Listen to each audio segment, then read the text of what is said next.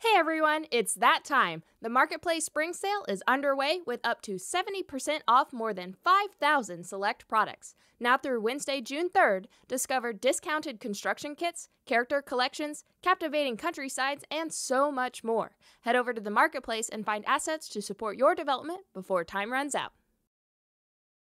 Are you getting ready to pitch your project? Read through a helpful primer from Game Dev Business Handbook author Mike Futter on different types of funding you may pursue and how to approach potential investors before you get started.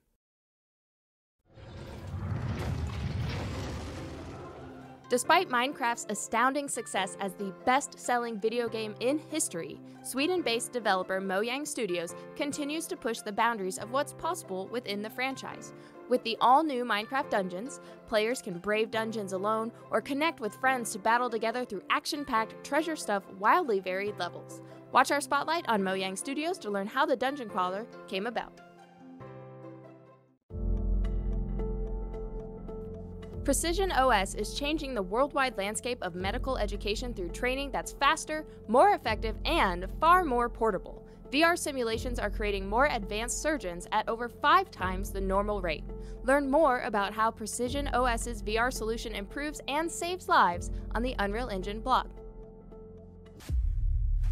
Creating captivating melee action has been an ongoing challenge for VR developers. With Skydance Interactive's The Walking Dead Saints and Sinners, their team honed the physics experience into a set of intuitive and reliable control mechanics that lets players focus on the larger game. Go hands on with their guide to building more physical fights, now on the Unreal Engine blog. Time to give our weekly shout out to our top karma earners. Clockwork Ocean, Evil Cleric, Scrat Scrat, Every Nun, Shadow River, Name Live, Jay Swigert, Lord Stuff, T. Sumisaki, and a North Star. Thank you for all your help on Answer Hub. On over to our spotlights. Released on May 26th, Quantum League is a competitive online FPS where you battle within a time loop.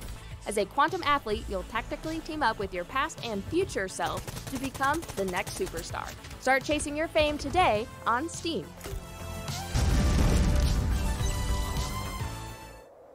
Inspired by the artwork of Studio Ghibli, this grassland scene is part of a larger open world project by Chris Radsby called Legacy.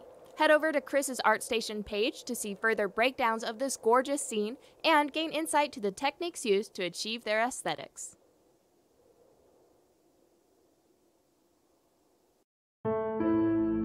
Last up is Unfound, a story driven tactical stealth game. Take real time control of a deactivated robot who wakes up accidentally and goes on a journey to find out his identity and sparks an uprising of the clones against the system in a world of gorgeous scenery and moody environments. Learn more about Unfound at panixel.com. Thanks for tuning in to this week's news and community spotlight.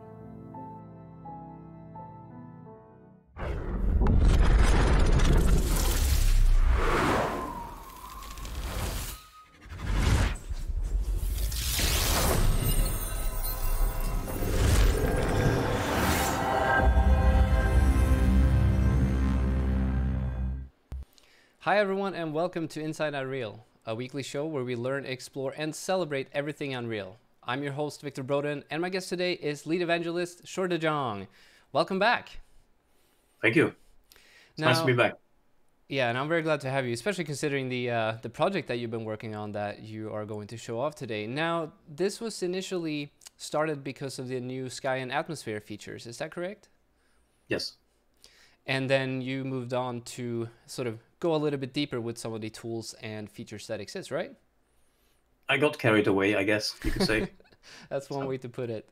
All right. Well, um, I'm not going to hold you up. Please start with your presentation. Okay. Good. Um, so this went live, was two or three weeks ago, I think now, on our YouTube channel. Uh, so you can find the initial 30 minute presentation that walks through all of that over there. What I want to do today is go into a couple of the um, uh, uh, side areas, uh, questions that were raised online, and, and look into some of the things that were shown earlier a little bit further. Uh, before I go there, just to quickly give credit, um, like I did in, in the initial video. So I've used Quixel Megascans, and I've used a number of things from the marketplace, including the spherical shader from Nightshift Studios, Tropical Jungle Pack from Polyasset 3D, the Meadow from Nature Manufacture, and the fictional aircraft pack from ModelWorks. And of course, thanks to Sebastien Hillaire and the whole Unreal Engine engineering team.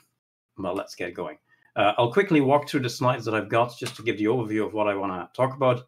I want to talk a little bit about how I made the landscapes. It has nothing to do with the sky, but just how did I make the landscape? Um, Quixel asset workflow, gradient coloring, fading landscape overlay, far off terrain, that kind of thing. And you'll see what all of this means as I talk through it. Uh, spherical planet, let's take another look at that. The ground material that I'm using, uh, I did something special with the sky material, essentially the clouds. Uh, there is a bounce problem if you do this that I didn't highlight in the initial video, so I'm going to talk about that. And the center of the world doesn't actually move, which is an important consideration for how I've done this. Uh, sky and scale in general. Um, so just a general discussion a little bit on scale, precision errors, just looking at the whole thing. Uh, foliage, I'm using all three types of foliage that we have in Unreal. I'm using something that I call a double layer foliage approach. I also have a slope trick, I have distant color fading, and have ground sinking. So a couple of specific things I do with foliage that I haven't seen that many people do necessarily. I'm sure someone has done it, but it's not super common, I feel. So I want to highlight that. Um, take a look at my blueprint. There's not a huge amount of blueprint in there, but it was um, questions that were raised on the initial video. How is the blueprint done? What am I doing in there? So I want to walk through that a little bit slower than I did in the first video. The moon and the stars. So reviewing the material setup for both of them. Um, the star setup is rather special, has a few weaknesses. So I just want to highlight that for transparency's sake. And the moon material is uh, special. So I'm going to take a look at that as well and then eventually take another look at the volumetric clouds uh, and a much slower look at my material setup. And then there's a few random things that came in. Um, just talking about the real-time sky capture, um, I saw someone posted on the forum, I believe, can I do a basic day and night? Yes, I can do that. So I added it in. And there was a request about performance. I'm not going to go very deep into performance, but I've added it here just for the sake of touching on it lightly. Um, and I'll get back to why I'll do that later on. Cool. Sounds great. Good. Sound good. Okay, I gotta look that way. I have too many screens, but that's my screen I'm gonna be working on. You guys are over there. So let's, go all the way back and let's start. Um, right. So in terms of how I made the landscape, and you can see I also have three editors open here, by the way. I've got, um, this is the cloud version because it's a different version. This is the normal one I'm working in most of the time, and this is one a test project just for the sake of something I want to show with the foliage. So I'm going to be working in the main one over here most of the time. The landscape is this giant thing. In fact, it's really, really big. It's the whole planet, right? Um, the way I set this up is I actually tried a new tool that I hadn't tried before, and I got into it, and I really enjoyed it. So what I started using is something called World Creator. And here you can see the original landscape that I started from. So this has been authored in here. Uh, I have a rather complex setup here to do this. But so this is what I came from. You can see it's actually mirrored here. It's the other way around. Here's the valley where the, the main camera position is in engine. The river is here. So all the elements are here that you see in engine.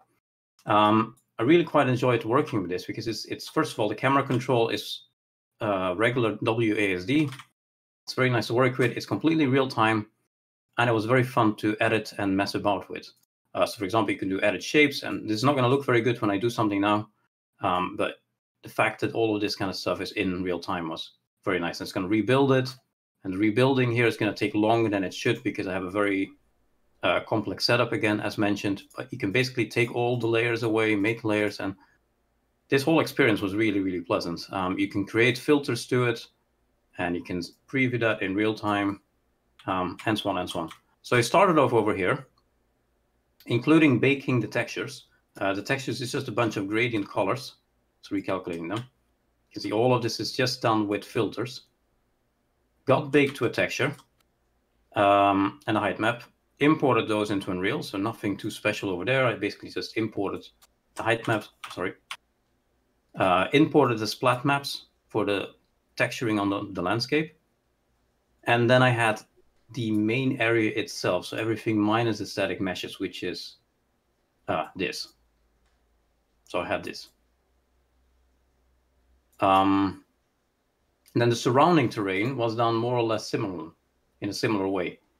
So it's only actually this that is a landscape, to be clear, because I saw that question being raised on um, on YouTube a few times. This is the actual landscape. Everything else is a mesh. Okay, so the rest of the world is a mesh. The surrounding world, so essentially these mountains, are done in the same way, but it's a, a mesh baked from World Creator. So the mesh looks like this. And this is kind of difficult to preview because the scale is kind of weird. Um, it's basically a single mountain, more or less, made in World Creator. It's a different project to this one, but same workflow. Um, baked down as a mesh. It's fairly high poly ish. It's 11,000. I mean, after Unreal Engine 5, nothing is high poly anymore, so it's kind of difficult to say that. Um, relatively speaking, it's high poly. Um, I pull down the vertices, I mean, the, the edges here a little bit to help with gaps, but that's it.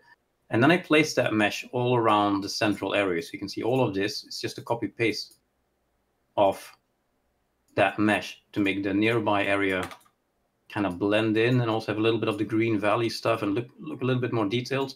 So that's what you're seeing around the environment.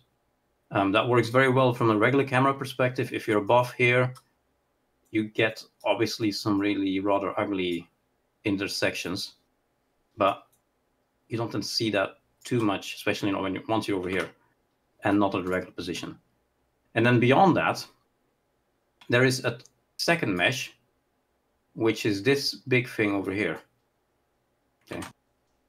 Um, which is, and this is going to be really kind of difficult to preview at this kind of scale. You can see it goes outside of the um, preview dome as well. Uh-huh. Um, it's the same thing. It's made in World Creator, but it's more just like a noisy, generic terrain, basically. I'm um, trying to do wireframe. Uh, this is 83,000 triangles. Of course, this was a demo. There are some certain performance considerations with meshes like this I didn't have to take. Um, so in production, probably would want to have a little bit less over the top. Um, so that's baked there. And then I did that again because the stuff over here is actually a different mesh again. You can see how big this chunk is. So it's basically tiling meshes over here, and these pieces tile. Sorry, and camera speed is a little bit difficult to get under control sometimes because I deal with such a large numbers. And then this is a bit too soft again. Sorry. Now, let's do a 64 with WASD. Um, wireframe here, you can see what happens, right? And so that's, you don't really notice that, but that's what's happening over there. And then you got these giant meshes surrounding that in turn those giant meshes are spherizing themselves. So if you're at the edge of the world, you can clearly see what it does. Uh-huh. It does that, which is really weird. If you turn off that effect, you can also see clearly what it would have looked like if I wouldn't be spherizing the world. So it's actually in the material. You can see I've got this, um, that's the thing doing it, the material function. So if I run the, um, uh, I turn off the, um, the switch parameter, which I have over there, or I turn it on rather, which turns it off. I confusingly named it. Then you get this gianting thing. And so that's the world.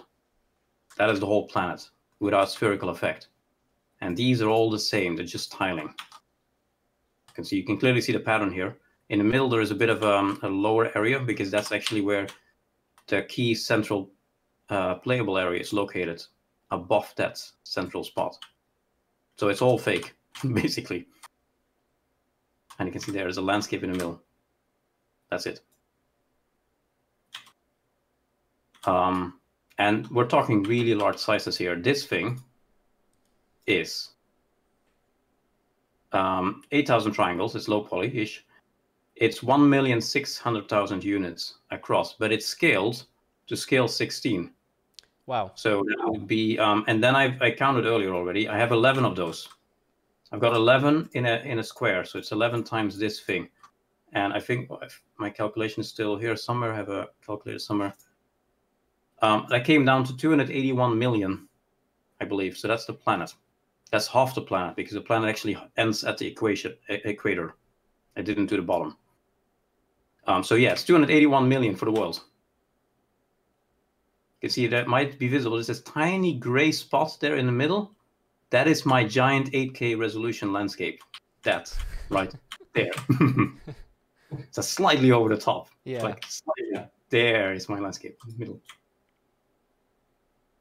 Okay, It- and it- actually, if you really want to see, there is an actual ant in there. So there's the ant, and there's the whole world. There we go. Presentation done. In fact, the coolest thing is if you select it and then fly up, and then you press F, which does an interpolation to it, so it fits to it, and it's like there, and actually there. Anyway, um, let me turn on the um, the uh, or turn off the spherical distortion disabler, and we're back to the planet as we have it. Um, there's a few other things I've done as part of that. I've used a lot of Quixel assets. So all the rocks are Quixel assets. All of this is Quixel, Quixel, Quixel, Quixel. Um, the foliage itself is often from a couple of different marketplace packs, and it's soon going to spawn. By the way, when you go way into space, I've noticed it's trying to rebuild the foliage and goes through it step by step. As you can see, it's happening here. So it'll soon come back. Uh, but all the rocks are all Quixel, and also the terrain textures are Quixel. Um, one problem I had though is was in building the cliff here. It was first of all really difficult to deal with these separate pieces because you had gaps everywhere. Uh, I actually modified a few of these assets to have more, be a bit more bulgy. Like what is it? Uh, convex, concave. I always mix the two up, but like a bit more bulgy, so it's easy to push the sides into each other. That helped. But then my next problem was that all the colors were different. Right, this rock is different than that rock. It had a different tint, so it all looked very mixed, mixed and matched. So what I did is I built uh, a gradient color coloring thing. And what that means is if you look at the rock in itself, here's the rock and I'm going to make it bigger. Actually, let me do uniform size. And this is what happens. You can see it's orange at the top. If it goes down, it starts getting gray and then eventually it will get green, which is not visible on the rock, but it's going through a color gradient multiplication here. And by doing that, I got all the rocks to look pretty uniform. Not entirely, but more than sufficient when once you're in this view. It also kind of aids a little bit with this weird greenish style that's on top of it. It's also partially post-processed, but it's partially from that as well. Um, so the way that looks in the material. So this is the instance as generated by Quixel. This is the master as generated by Quixel, except I copied one of them and I injected this thing in it and this is the um, the gradient colorization. Okay. So you can see it's very simple. Um, takes the world position. It's um, it's offsetting that slightly, but this is the actual texture that's being multiplied, and that is the gradient color you're seeing. And that works quite well. And that's actually a trick that's going to come back a few times in everything I've done. Um, to multiply an image on top of it to pull the colors together and it also really it gives a special kind of style i think it makes it look different and if there's any questions victor or anything you want to add feel free to step in because otherwise i'll just ramble on for the next hour Uh, there was one question that came in: what what the uh, how large the landscape or the total size of the map was, which you already covered. Um, someone was curious if there are any hierarchical instance static meshes. I think they're referring to the individual uh, static mesh landscape pieces. um individual no they're all regular static meshes actually. I haven't done anything special with them. Um you know i said there's 11 so there's 100 in total a bit more. It's not a huge possible amount. That being said um and this is a topic that comes back later but i can talk about it already right now one problem i had with the spherical world doing this is that i'm offsetting the vertices way down from where the mesh is because this Mhm. mesh used to be there that means that if you put the camera there the mesh would have disappeared if you wouldn't have changed the bounds because the bounds are still saying it's over here. Okay. So what I did, and this is messy, so do not do this at home, kind of messy, but it works, obviously. Um, the bound scale is 50, which is messy again. Yes. Yes. But without doing that, I couldn't do this huge offset. The meshes would disappear because it wouldn't understand the bounds would be used for occlusion Mhm. and culling. So that's one thing to consider. Um, let's go back to the main area here, and you can see the foliage is gone again. It'll come back. So that's one thing I've done there. Um, I did something similar with the landscape itself. if you look at this, is going to be difficult to see. It's kind of the, the intention, but without light, it's more visible. If you're up close, you can see the terrain texturing, right? There's some more brownish rocks there, grayish rocks. It's all the, the whole landscape texturing. If you move away, it actually fades over to the image as rendered by World Creator. So you can see at the distance, I'm looking at the original image. Up close, you can see this on the, the desert ground as well. I fade over to the tiling textures. This prevents me from seeing this huge amount of tiling in the distance, um, which would be a problem. You can see the tiling of the textures. That, that never looks good.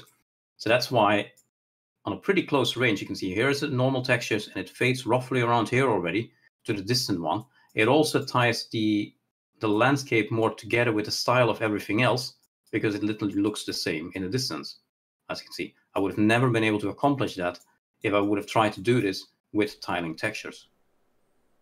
And if you do this with lighting, it's actually really difficult to, and my dog is barking, which you might hear, it's really difficult to spot that transition, you see? Yeah, I, I can barely tell over here. Yeah, I mean, you see the rocks popping out, right? The 3D, but the texture itself, you can't really spot that. Now you're starting seeing the bit of the tiling over here, right? And then it's gone. So that's a really neat trick. And I'm doing this for every landscape I've been making in the last two or three years, I think. That fading out, and it really helps. Good. Um, I always forget my slides when I do these kind of things. So we did all this, and I'm happy to take questions on on these things later if needed. Um, we've done a little bit on the ground material for the spherical planet. Um, the sky material, the bounds we've covered, but then these two, sky material and the Fresnel effect, and the center does not move. Okay, now what I mean with the center does not move is that I've seen some discussions on YouTube where people are um, thinking it over. How was this done? Um, did I use world position offset for everything to turn it into a sphere? Um, I'm only doing that for these big meshes. I have the wrong editor open here. It doesn't matter. I'm only doing it for the, the big meshes over there. I'm not doing that for the center of the world. In fact, this is the center of the world. This somewhere here is around zero, zero, zero, and it never moves. You don't want to have to do a vertex offset on every piece of foliage on the landscape itself, not to mention any gameplay problems you might get. So I'm not touching any of this. When I'm in space, none of this is deformed. Mm-hmm. It's everything else that deforms around this single spot in the middle of the world here, as you can see. So the center of the planet is essentially at the top, not in the middle. Because otherwise this would not be doable. So I just wanted to highlight that as well. Um, then also let's go back to space actually. The surrounding clouds. So the clouds you're looking at over here are the same clouds that you see on the surface. There is some very faint clouds clouds over here. They're the same in space. Um, but I have a few problems there as well. I have a few challenges there. So first of all, the cloud mesh itself is not a sphere.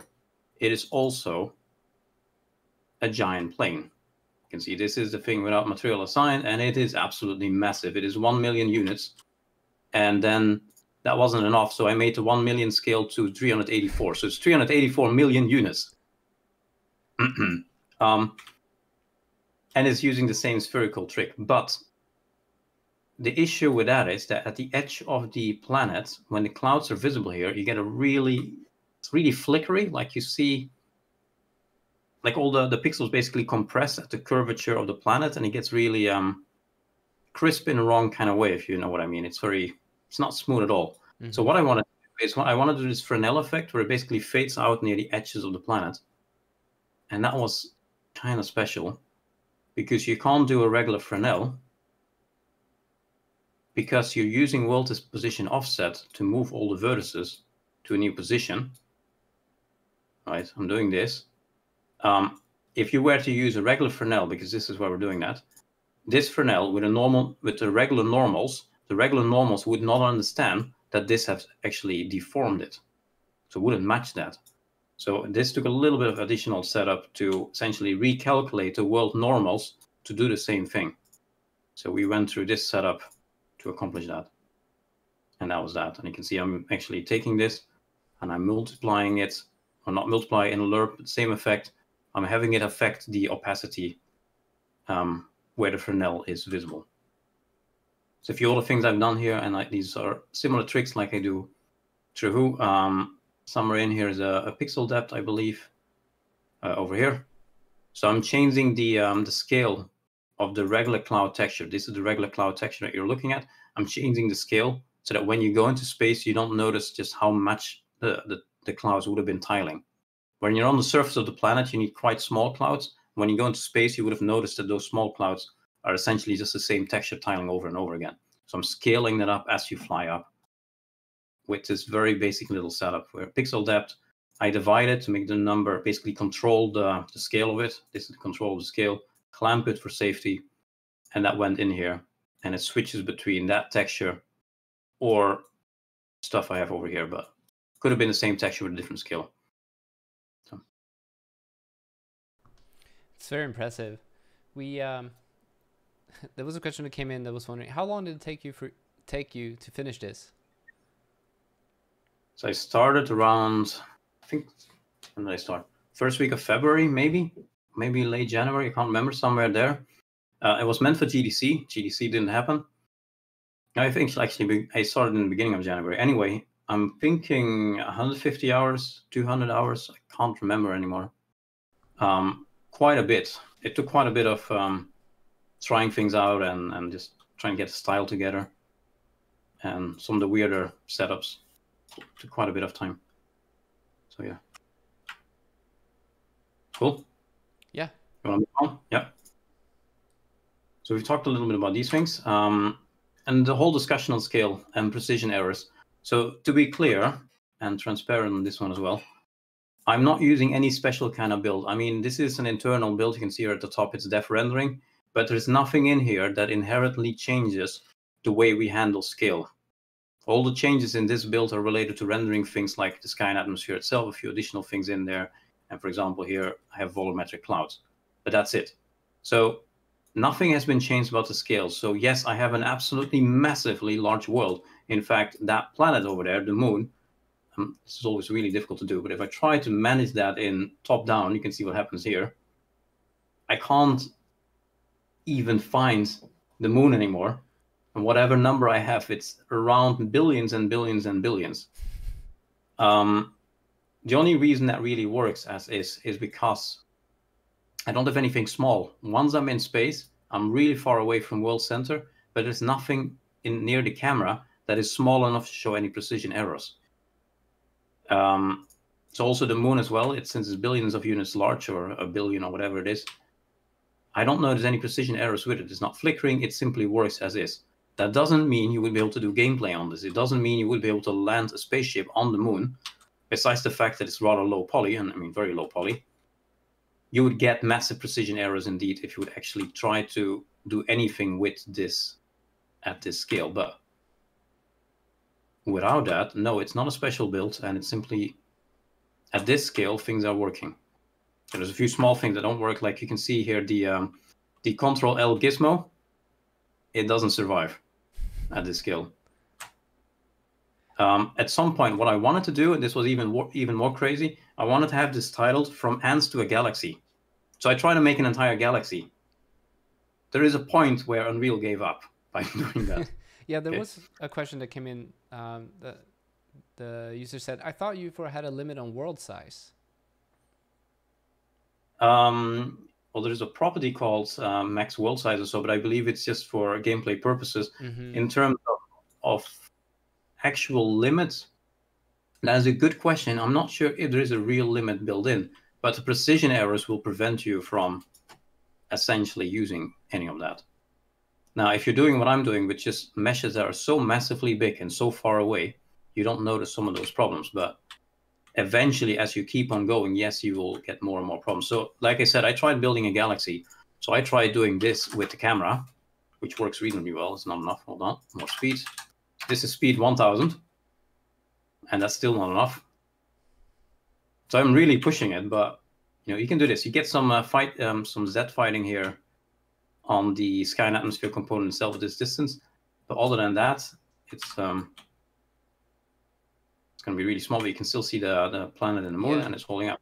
This works. So I went to these kind of distances and beyond, and then I tried to draw and render a bunch of stars, like actual, you know, that were basically just sprites. Um, but that started to flicker.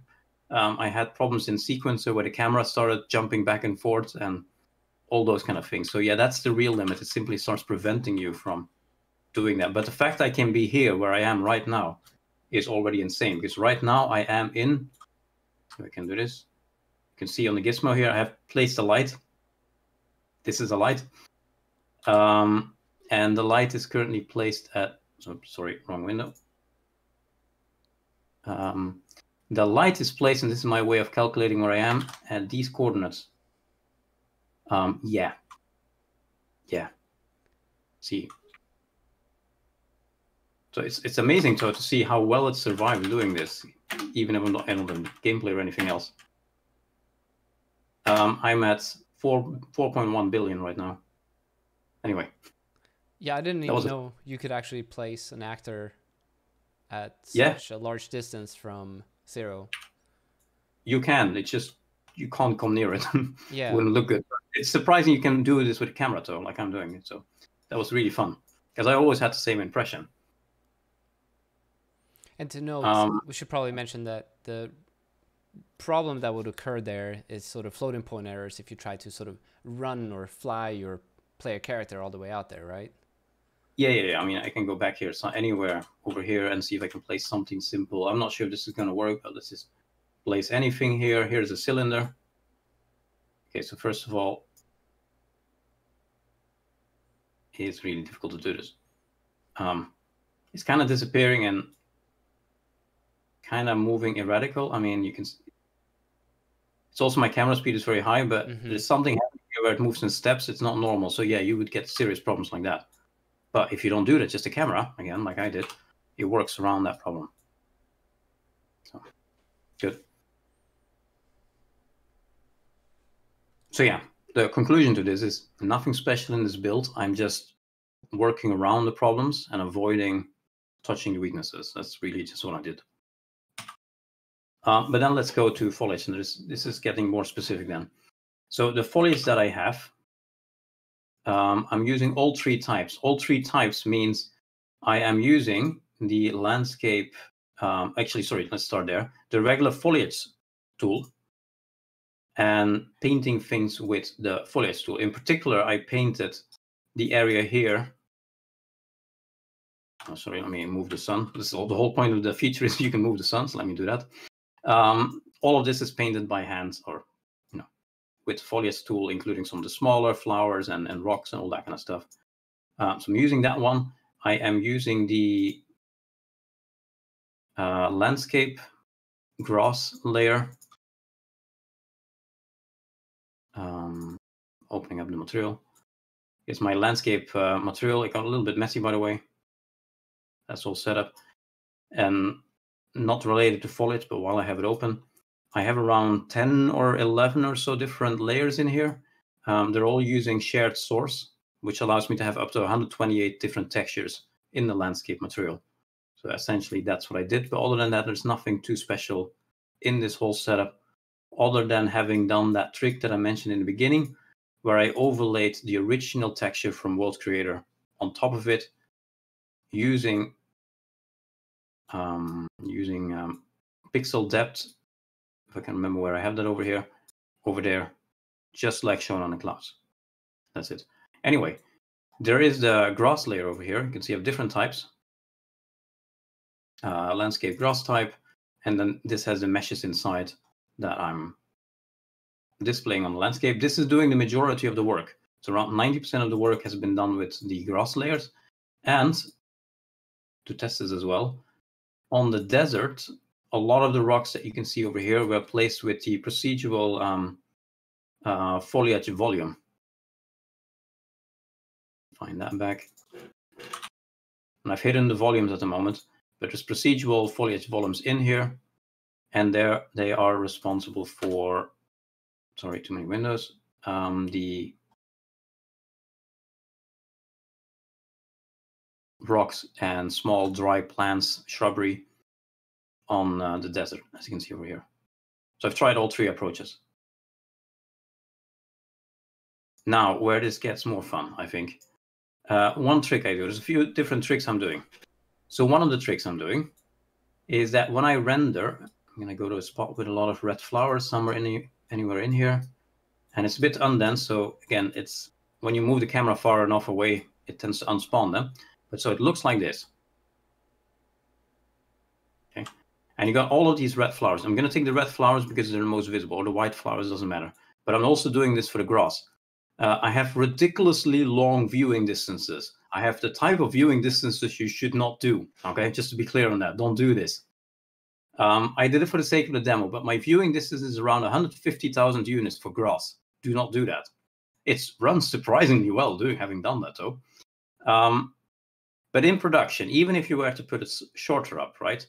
Um, one problem that you have is that if you make the grass or any type of foliage disappear quite soon, it's going to be visible. You obviously see it disappear. That's a problem. You don't want to see it disappear, right?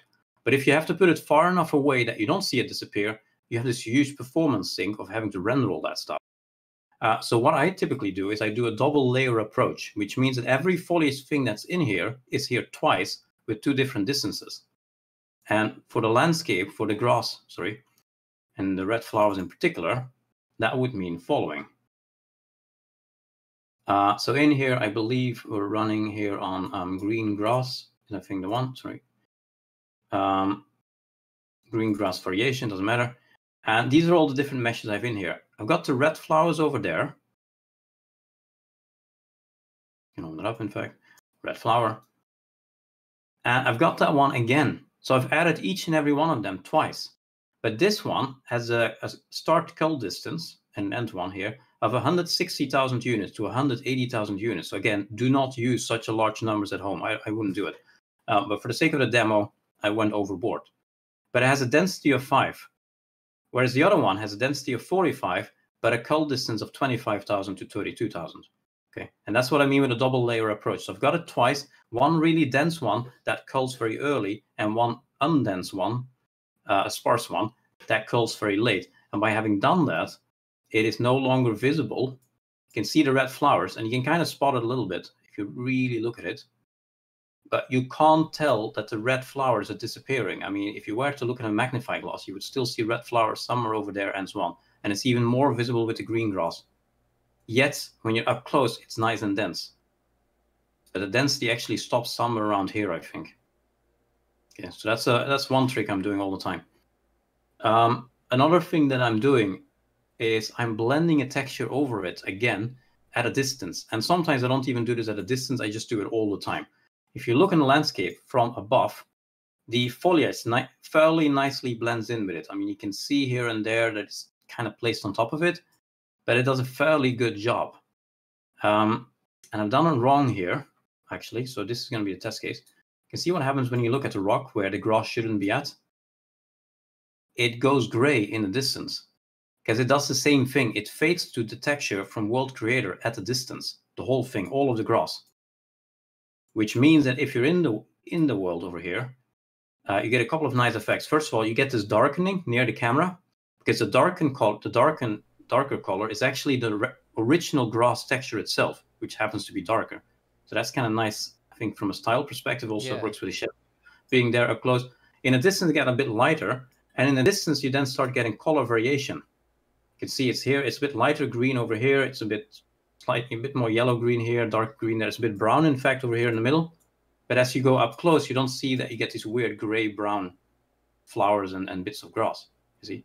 But from a distance, you get this rich color variation where it's not just one monotone tint of green, but you see the complexity in there depending on the soil conditions, the amount of water it receives, sunlight, and all of that.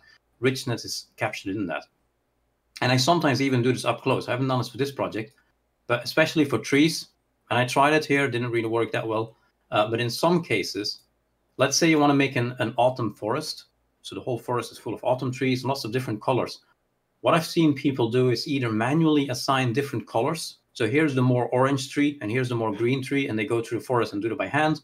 Or maybe there's a blueprint that does it for them or maybe they use per instance random or something in the material to color each instance with a slightly different tint. But I don't I don't think that works because it's very it's very fake, it's very harsh, it's very just suddenly the color changes. So by multiplying this entire texture on top of it, it would do it on everything. It would even do it on the trees. Again, not on this project, but it could have done it on the trees. And you get this richness. Like one side of the tree looks a little bit more green, and then the colors start fading, and it ties everything together. It's really cool. Um, anyway, so just to, I'm going to show you what I've done in the material itself, which is again very straightforward. None of these things are complicated, I think. Here's the mesh. I'm just trying to get to the material. Here's material instance. Material instance comes from the material. I'll do full screen on that. Um, and this is a bit messy, as you can see, so ignore that. But it's got uh, a colorization overlay in there, which is the function I made. I'm going to take a look at that one. And this has the same texture in here from the landscape, and it essentially blends it on top. Again, using pixel depth. So it's the same setup. I'm just repeating over and over and over again. This and this, that's it.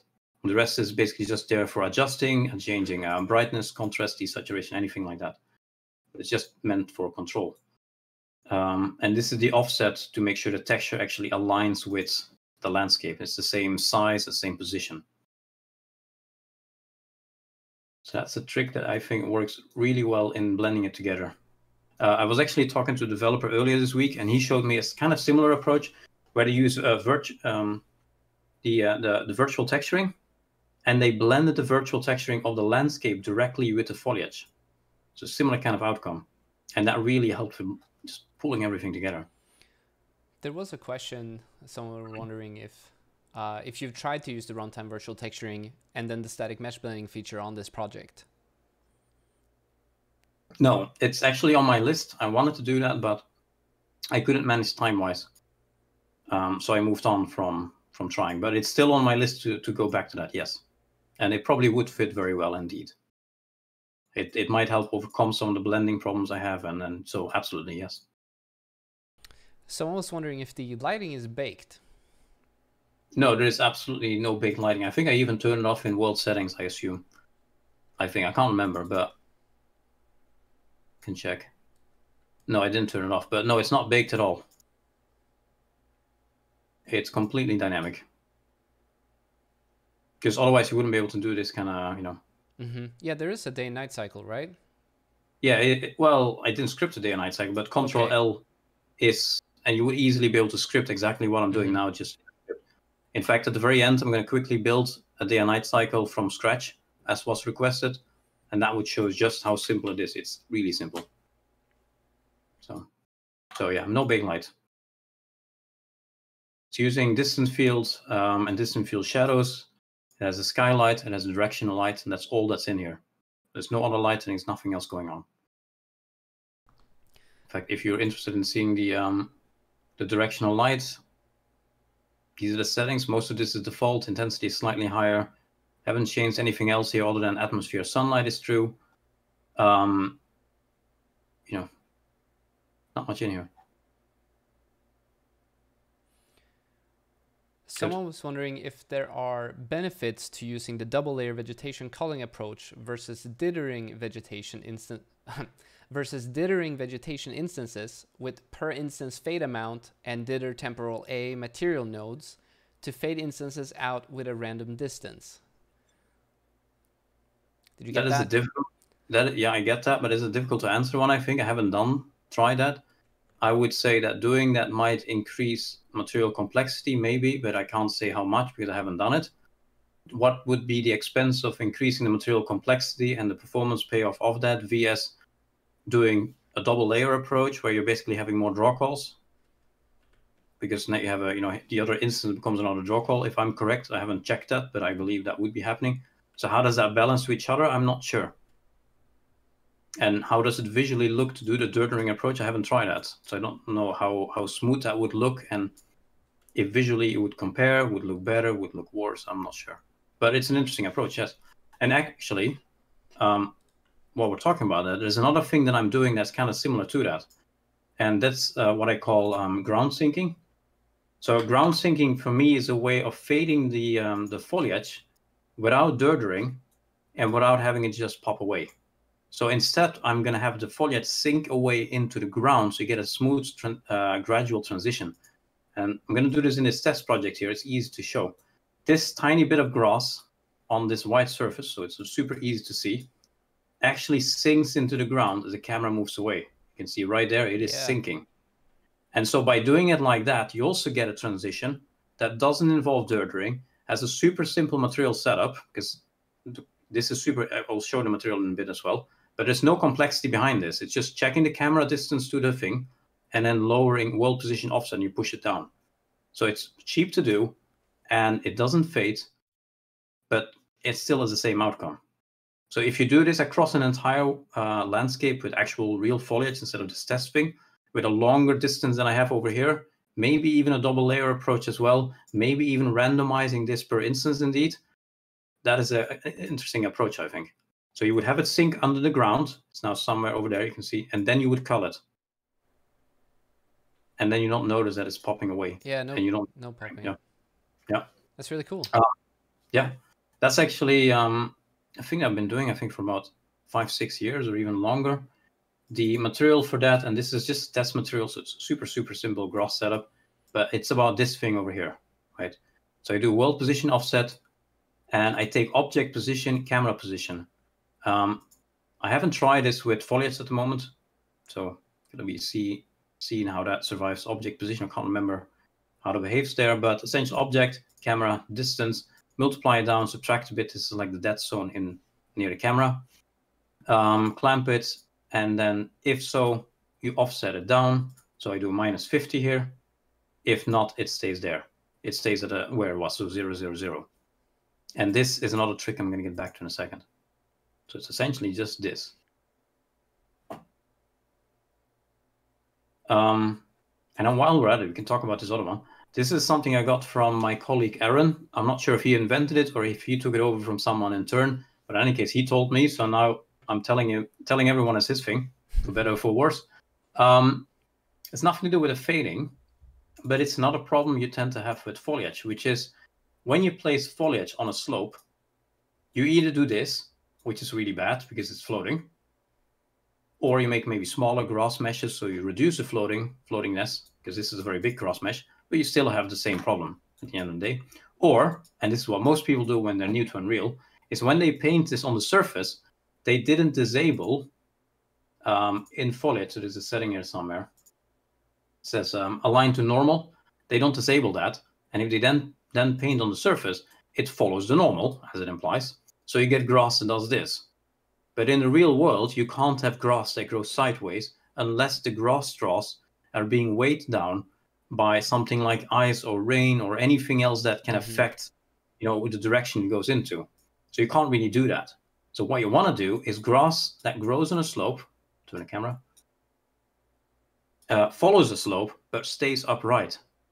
And that's a really interesting little trick that I never thought about until Aaron told me. So what happened here is that the mesh itself, um, actually I'm gonna see. I'm gonna show this because it's kind of difficult to show. Let me duplicate this one. The mesh itself, without a material, let me find some random material I'm gonna dump on this, would look like a flat plane. Okay, it looks like that. It's flat. So what we did is we took the the vertices and we squeezed it flat. So now it's a flat layer. But there is vertex color on that mesh. So if we look at the uh, the vertex color over here, we know what the bottom vertices were because they have a different vertex color. I think they were black in this case, and the top vertices were green. So even though everything has been flattened to a flat layer thing, we still know what used to be the top and what used to be the bottom. So since we then know that, what we can do in the material is offset, and that's what we do over here, I believe. Um, offset that using the vertex color. So we do a lerp and it switches between them. The black vertices don't do anything. They stay on 0, 0, 0. So they stay flat at the bottom.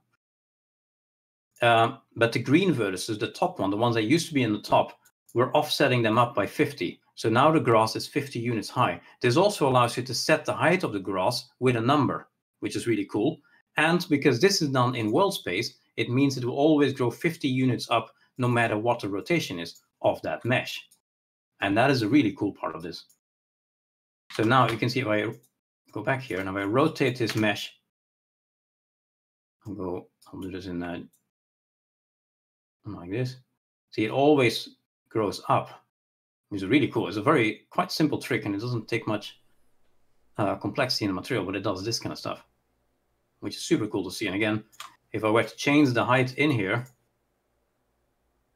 I would have higher grass. So you could even use a grass growth in a world, right? Like just it gets gradually higher and higher by stretching it, which is a really fun little thing.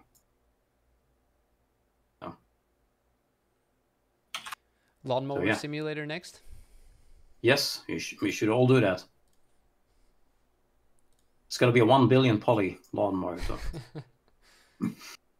um, in fact, every every bit of grass should be chopped off in real, you know, ac accurately chopped off and deposited somewhere on that area.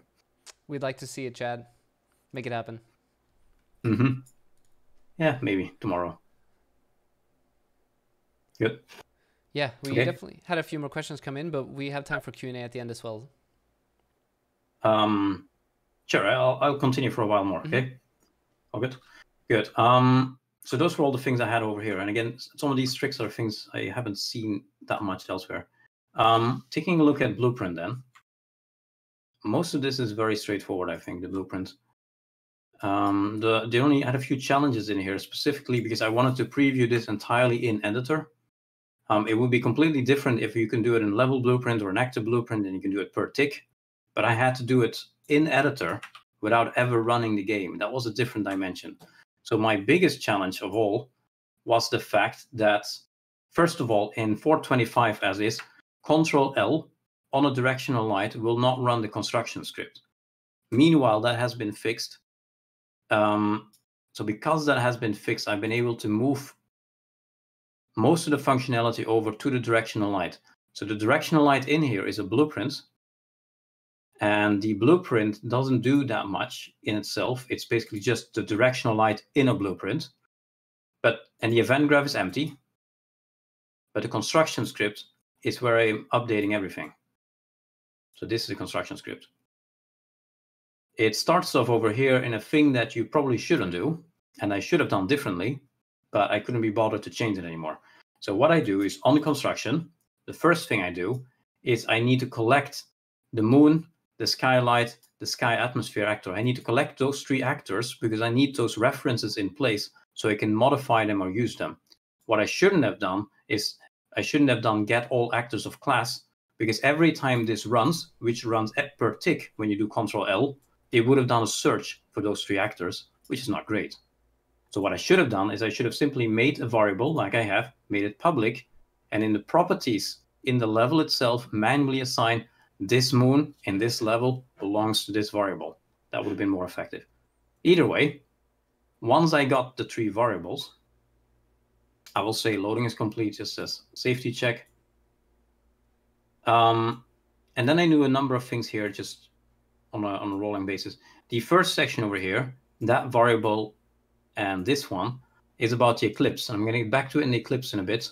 Uh, but the solar eclipse support, and this is essentially the calculation of how far the sun is from the moon, therefore knowing when the eclipse will happen. So I'm using quaternions um, over there, etc., etc. That's thanks to Mario who helped me with those. Um, so I'll skip through that a bit there, but more readable and more directly applicable, perhaps, is all the stuff that's over here. So first of all, I take the moon and I will set the rotation of the moon. So when you move the sun, the moon moves as well for the sake of demonstration and for the sake of um, well, if you're moving the sun, the time moves, and if the time moves, the moon should move. So I connected them together. I'm also setting the relative rotation of a scene component within the moon, because this is actually the moon of the moon. There's a tiny moon next to it. That's beneath the scene component. Um, and this looks maybe slightly complicated here, but it's essentially just taking the rotation of the sun. So get actor rotation of self. It modifies a little bit, like it inverses it here uh, it multiplies it by two, so it will go faster here. And then eventually it'll make a rotator out of the modified rotation of the sun. And that's simply what it set, sets to the moon. That's it. Everything else that I've gone in here is more about manual control, so I can offset the moon a little bit, and when I have a, a cinematic going on, I can force the moon to be in a certain position, stuff like that. But it's not essential. Then I do something similar with the skylight. So I take the skylight, and when it becomes night, it gets really, really dark. So I detect when it's night based on essentially the rotation of the sun, because rotation of the sun means night or day.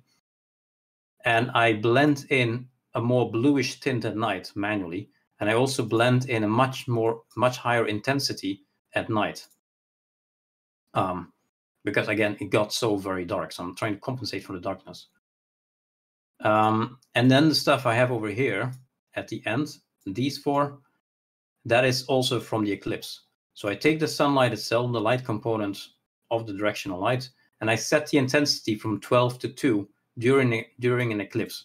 I change the, the Mie scattering on the sky and atmosphere, and I change two material parameters on the moon. And I'll show you that in a bit as well. And all of that comes from this one variable, which is the sun distance to moon. So essentially, how close is the moon, the sun to the moon, and should we therefore start triggering these effects? And that's the calculation I have over here. That's essentially the whole setup. There was one part I couldn't do in the in the construction script. Um, and again, a lot of this is tied to me just trying to do everything at the same time, purely in editor and combining it. I've got height fog in here, for the sake of demonstration, but the height fog does not support space view. So when I fly up, if I wouldn't disable the height fog, you would see the height fog just simply across the world in a, in a single line. So I had to get rid of the height fog in a very gradual way. And my solution to that, and it's a weird one, is I made a blueprint widget. And this would also be the workaround for some of this in 425 still um, without Control L running construction script. And in the blue in the, the widget blueprint, um, on construction on event construct, I also do get all actors, and then on event tick, I use the references of the directional light I found and the exponential height fog, and I set the fog density and I fade it eventually down to zero when the camera starts going up into the sky. So it just manually fades out the fog. And again, it's just for editor preview. That's it. It's a nice trick, though. Yes, well, it's a bit weird because I have to have this widget open. In fact, I have this widget open on the other screen. Here's the widget. Sorry, wrong window again. Too many windows. This is the widget. It's empty, but it has to be here because when it's here, it's actually ticking. It's running this logic continuously. You should probably mention so that, it, that it's an editor utility widget, right? Yeah, it's an editor utility widget. So it's this thing over here. In fact, if you want to see the whole thing, I've got two of them, two different approaches, but similar kind of thing. Um, I can run the editor utility widget, which gives me the panel. But if I double click it, I get this thing over here. So it's meant for editor scripting, so you can create your own tool panels mm-hmm. within UMG and then use that for making your own tools essentially. But in this case, I abused it because it also allows ticking in the editor. And it's one of the few things that allows for ticking directly in the editor within a blueprint. So I've basically I'm abusing it. Well, that was very similar functionality to uh, Blutilities as well, right? And now we just exposed it to be uh, give you the possibility to do uh, user interface um, customizations as well. Yeah, absolutely. And and the one other hack I had is um, I couldn't access get level viewport camera info in any other class than a Blutility, than an editor utility widget. It doesn't allow me to. So I had to manually get it over here and write it to a variable that's in the directional light. Okay. So, but again, none of this stuff should have been required if it wouldn't be for this, the, the fact that I'm trying to do this in editor viewport. If you would have just done this on play, it would have just worked. Okay, so this is just for Mie working around those problems. That's it. For the unacquainted, um, I'm sure that there might have been some questions regarding what me scattering is. Could you show that off? Um, yeah, where is on this one? Um, uh, Rayleigh and Mie scattering are the two main properties in the sky and atmosphere component that was shown in the original video. So essentially, it controls the amount of um, uh, water vapor, pollen, dust, the stuff that's in the air, in the atmosphere, that light gets stuck on as it travels downwards. So essentially, what is scattering the light around? Um, the reason the sky is blue on Earth is partially because, or entirely because the light gets has to pass through the atmosphere. There's gases in there, and those gases interact differently uh, with different wavelengths. I mean, so you get a blue sky. So if you tweak those two, I'm going to copy this number so I can find back what I had. You can see you start getting uh, Mie scattering in particular is the amount of um, dust and pollen and, and things typically more nearer the surface of the planet. So if you increase the number, there's more stuff floating in the air essentially. Mm-hmm. So more light will be captured by that. If you keep increasing it, you eventually simply have fog, as you can see. Okay, if you decrease it all the way down, you get a very clear, very dry atmosphere. There's nothing there. There's no dust. It's basically completely barren, um, in a way. Uh, Rayleigh scattering is similar, um, more for the upper. I think it's more upper atmosphere, but it's the gases in the atmosphere itself. So if you bring that all the way to zero, there is no atmosphere left. You simply have space, as you can see. If you bring this down to zero as well, that is completely just space. So you can use this tool also to make space if you wish. Um, if you bring it all the way up, um, you start getting this Martian atmosphere maybe, yeah. and let me bring it up a bit more as well, and you can you can do fun stuff with this. It's really so, cool yeah. to see all that in real time. Yeah, absolutely, and you know you can do use this for city environments because maybe in a city, um, you know, there's this haze or pollution and all that, and so all the stuff you can play with. And that's what I did in the original video. So I'm, I'm showing you all the tricks and the hacks and the workarounds now. But in the original video, you have the nice um, walkthrough of how everything works. You can change the color and some different kind of effects going. Stuff like that. Now it's kind of pink. Copy that color. I don't know. I don't know, sorry, green and something like that. Um, so yeah, that's Mie scattering.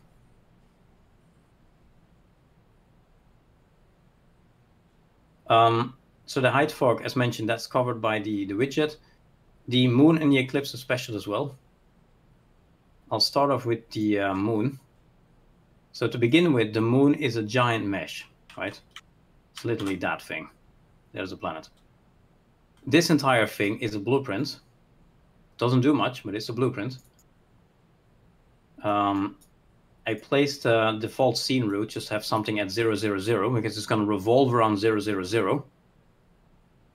Um, the planet's over there. I have the main moon, I have a scene, and I have the small moon attached to the scene that's attached to the main moon. That's it.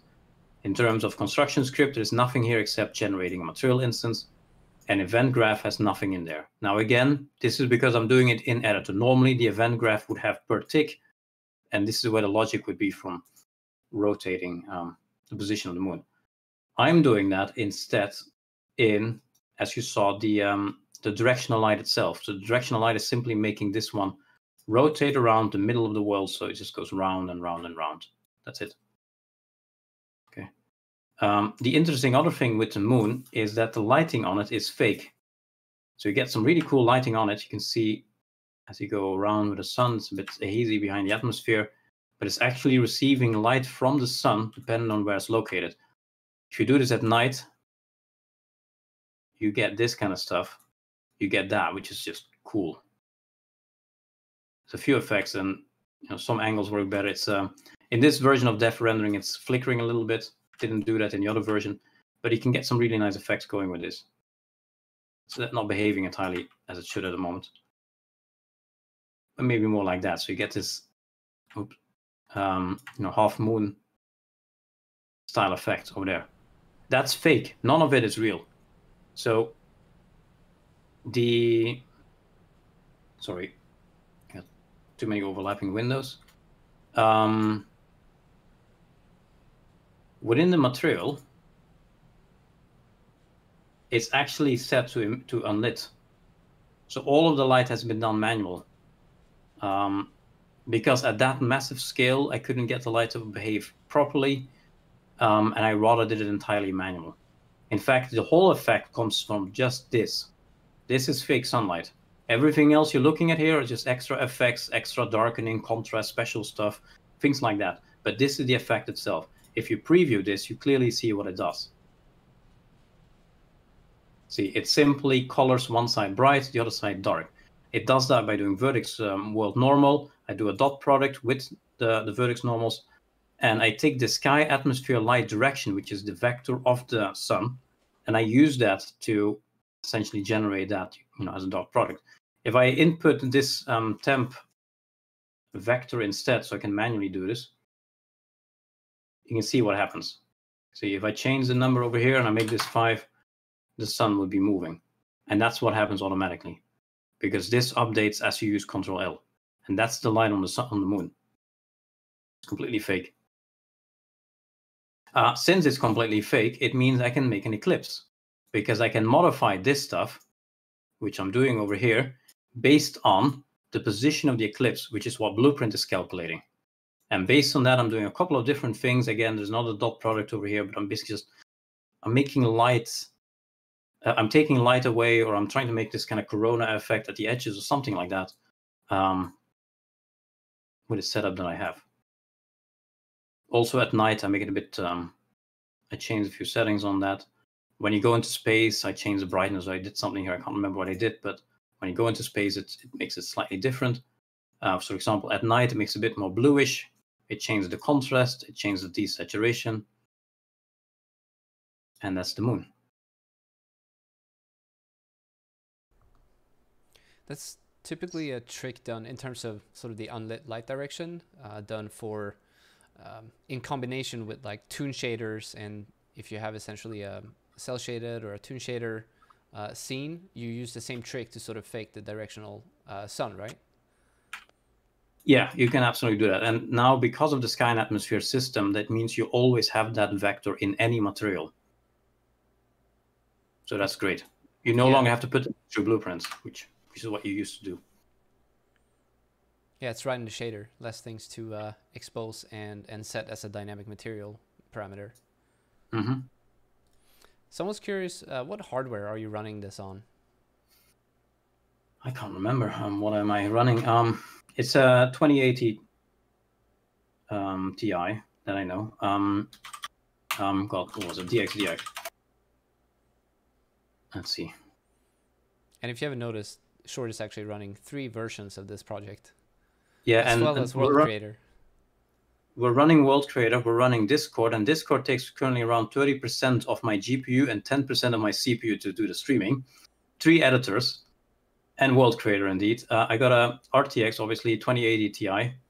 I've got um, uh, 65, 64 gig RAM, and this is an Intel Core i7 six, uh, 68, 6850K. So um, it's a what is it? A six cores, I think. Six cores, hyper threaded, 3.6 gigahertz. It's been a while since I built a machine. I'm I'm out of the hardware stuff, but yeah, it's about two years old, the computer.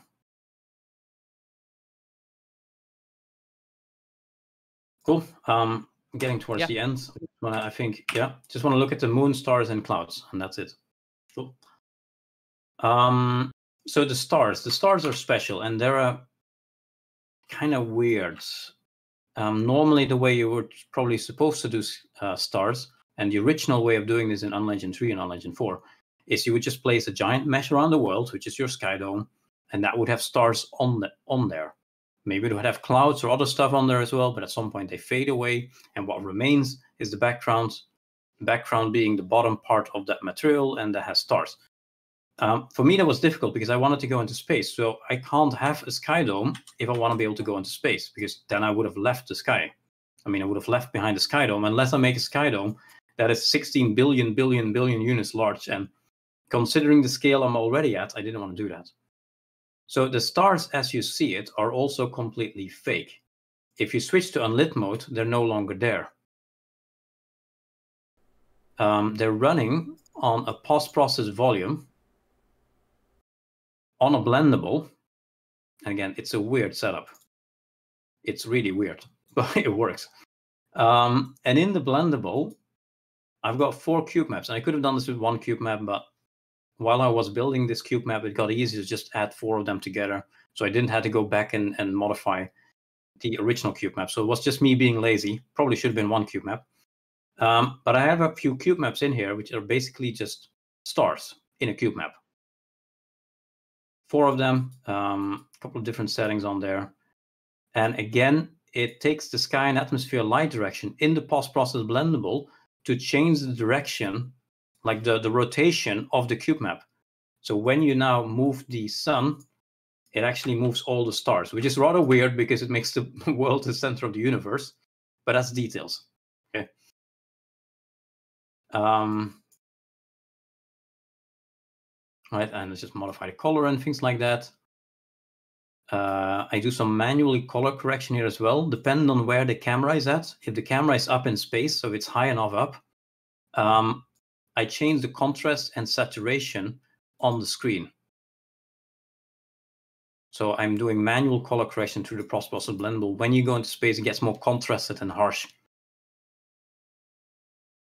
Um, and I think that's pretty much all this is doing over here. I had to do one thing over here where during daytime, if the camera is on the surface of the planet and it is day, I will fade out the stars using sky atmosphere view luminance.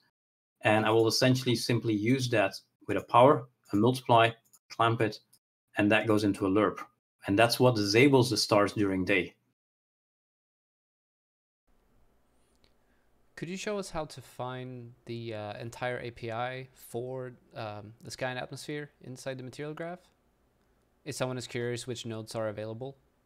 Oh, the available nodes. Uh, everything is about six or so of them. Everything called sky atmosphere. So what is it? Um, six indeed. Cool. So we've got six in there. There's only two of them, and in the original video, you will see the two common ones. I think, uh, from what I remember now, it's um, light disk luminance and and view luminance. I can't remember entirely. Um, they are the standard ones. If you combine those two, you have the sky as is, as it was rendered by sky and atmosphere. But the other ones give some additional control, like light direction, as mentioned. And I blend the stars only using scene depth, only on the pixels that are the absolute furthest away. And that's why the stars only show up on everything that's not covered by geometry, essentially. And that's the setup. And that gives me stars. Ta-da! Yeah. Um, so yeah, the weakness of the system were a few of them. I tried to do an um, a cinematic where it fades out. Couldn't do that because the fading didn't respect the the stars would just render on top of the fading because it's a post process effect. So the stars would just keep on rendering. That was a problem, obviously. Um, there might be some other issues there as well because it is a bit of a weird effect. Um, I'm sure I overlooked something with the setup if you were to do this in a game, maybe other kind of post-process effects, something else, I'm not sure. Uh, but it works for this. And it's working really well, I think. So, But the biggest problem I hit was indeed the sequencer um, fading. That didn't work. And we looked at the moon material. Okay. And then I'm going to take another look at the um, the actual clouds. So the clouds is just super cool to work with. So here is slightly different uh, engine build because this is heavy work in progress. But this is just so cool to look at. And I mean, not just it's actually full, you know, volumetric clouds they can fly to, but it's casting a shadow on the landscape, which is crazy. This stuff is just crazy. And it has God rays that come from the clouds automatically. Which is crazy. Yeah. As well.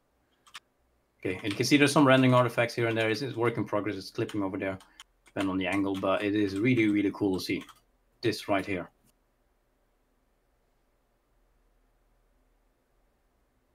It's black um, magic. It is really, really fun. Yeah. And pretty straightforward to make. So what is happening here? It, there's an actor called volumetric cloud. Doesn't have an icon yet. It'll come later. It, so all of this is scheduled for 2060 clouds. And in the volumetric cloud, uh, in that actor, everything is done basically through the material. The only three properties you have over here, which you can play with, uh, so this is obviously at what height the clouds are starting. And some of it works better than other things, but for example, this is height 10, you get a bit more higher altitude clouds. Um, you know, and, and layer height. You can try that. Some of it looks a bit weird. Okay, that's a bit weird. It's essentially how and the performance starts to drop if you have very, very thick clouds. Um, these are very tall clouds. Okay. I was running um, layer height 2, I think, so they're pretty flat clouds. Um, but it's a material that's really doing the work. And if you look at the material, this is a, a thing I built. This is the instance, and here's the material under it. The material in itself, so the core material node over here, is just this. There's nothing going on there. Um, it's just a color, and you know there's a bit of emissive which is currently set to black. And extinction, um, the only thing special I'm doing with extinction is that I'm taking the, and this is a very interesting note by the way, cloud sample attributes gives you a bit of additional information. This is normalized altitude in layers. So essentially the bottom of the cloud is zero, the top of the cloud is one. So now I know where the cloud starts and where the cloud ends. Um, and I use that to modify the extinction based on if it's the bottom of the cloud or the top of the cloud. You can use the same, for example, for making the bottom of the cloud darker, look, make it look more gloomy, make it more look more rainy, using this thing. So anyway, it's the only thing I did there. But the real work comes from this thing over here, which is the volumetric advanced node. And all of these are just numbers I can tweak, but conser- cons- uh, conservative density, that's what's doing the work. That's all of this. Um, and the core of that in turn comes from this thing from Ryan Brucks, which is a volumetric texture. In fact, I've done it twice just for the sake of variation, but these two are the same. In fact, this is the same, just different settings, I believe, here or there. Um, volumetric texture. This is the noise texture that essentially makes up the, the variation within the 3D shape that the cloud is if you wouldn't have a volumetric texture, you would just get, um, I mean, you would just get a flat, solid layer of clouds across the entire planet. And what you would then do is you would, sorry, wrong click, um, you could subtract away from that, which is what I've done over here. I've taken another normal 2D noise texture when it doesn't autosave at some point. Um, just a normal noise texture and I've projected it on top world world position, right? So I'm basically just planar projecting the whole texture on top of the clouds. And if you would do that without the volumetric texture, you basically just get a weird extruded layer above you, in a sense where there's holes left and right wherever this cloud texture is black, and weird extruded clouds upwards wherever it's white. With the volumetric texture in there, it becomes more voluminous. There is variation in that extruded surface up in the walls of the clouds are not just straight up anymore. The walls are now bulgy in and out. And that's the real core of how this works. That thing in combination with a texture that removes some of the clouds and doesn't just make it a solid layer. Um, everything else around it is kind of just fluff and extras. This is about making the clouds pan. Um, this is again making the clouds move when you move the sun. So again, sky, atmosphere, light directional. I do a few steps with that. But it's just about positioning the clouds. This is about trying to get variation in there. What I try to do is identify the bottom of the clouds or the top or the middle, and then change the amount of detail present. So I try to get some kind of richness in the clouds. So it's not just uniform, um, you know, detailed or soft, but there's soft areas and there's detailed areas. And that's what I'm doing over there. Um, and this is basically doing the same thing cloud detail control at di- different altitudes. Just tries to get variation in there. And this ping box, purplish ping box, is kind of doing the same as this one in a sense that it's another texture, same texture even, that got projected and uh, planar mapped on top of it, but it subtracts away from it on a larger scale. So essentially, this is small scale, this is large scale, but kind of the same idea. It all comes together over here goes in there, and that's essentially the material. And same, actually, I've done it a third time. Here's another texture again, doing basically the same thing. Planar mapped in the world. I'm changing the contrast, the, the contrast and brightness, and I multiply, subtract, I do something with that. And that's my clouds. Okay, so it looks a little bit complicated, but once you've altered this material once, you're pretty much set to go. And again, the real core of the material is could be brought down to almost this. you would have something. Wouldn't be perfect, but you would have something. Um, so in practice, that means, for example, I could do following. I can take a different material instance I made with the same material and apply it, and I get these kind of effects. And this is why we want to do it like this. We want to have a material in there so you can alter whatever clouds you want to make for whatever style you want to make and not just lock it down on realistic settings. Okay, so you should be able to do as you see fit. So now you got these really weird yeah. clouds. Yes. Um, and so this is really just an instance at this point. So this is the material instance from the material. These are the settings. So as I modify this, for example, I changed the MIP level. That's why it looks so soft. And I bring that back to zero. You get a bit more richness in there again. So this now becomes the settings of the clouds. can make them go fast, for example, and we'll do this. And that's essentially how the, the system works. Easy peasy, right? Well, once you've made it, yes, it's just numbers. You do have to make it, of course, first, and that does take a bit. It was a joke. Yeah, I know, I know. So yeah, I'll set it back to the original. Um, just to, I think this was possibly missing from the the first video. So when it comes to the real-time sky capture, and what that means, by the way, is in a newer version of the engine. So past four after 425, so you don't have access to this just yet. Let me switch back to this one. We added a property in the um, skylight, which long awaited says real time capture, meaning it captures itself continuously all the time. Uh, you used to have to do this through Blueprint. Um, capture was something called recapture skylight or something it was Mhm. called. And it was really intense for performance. A lot of people were doing that. I've done it myself as well at my last game, but it really was bad for performance. Um, so we've now finally solved that. It's called real-time capture, and it does what it implies. Um, it's very fast. In fact, these were the numbers that were missing, I think, from the original one.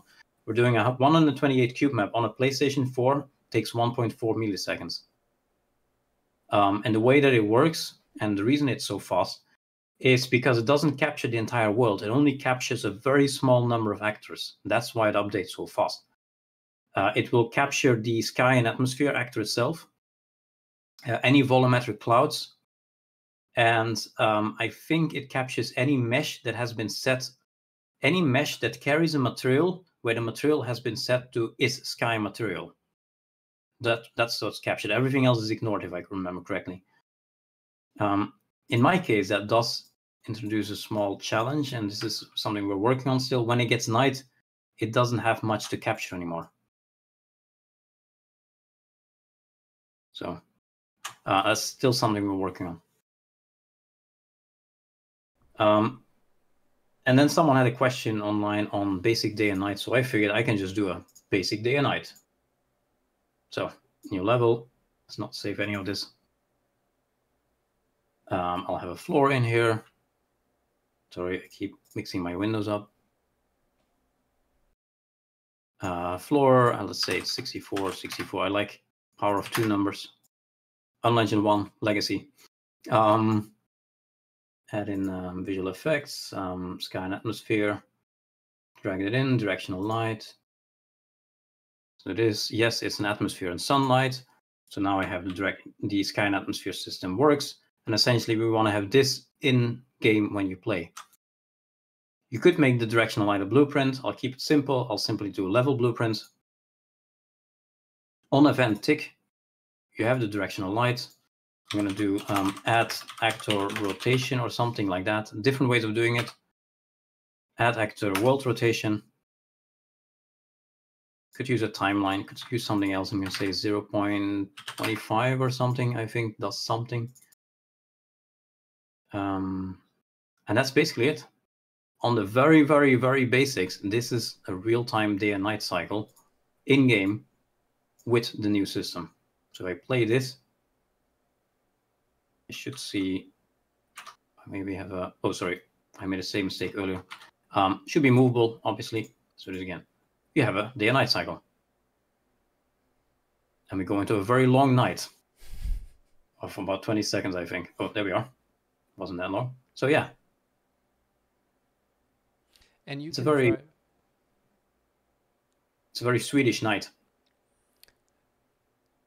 Yeah, dark for every every part dark for a few hours. Off the surface, yeah. But we're tweaking the numbers, yes. That's it. And you can drive the um the, the I believe there's a function in the component itself, right, to actually drive night and day to also get the right um, latitude and all the other details. Um, I believe that is in a a plugin, not by default. It's not okay. in the normal properties of a directional light, no. But there is a plugin now. I haven't done this this much, but trying to remember where it's located. But there is something. Yes, we we've done that.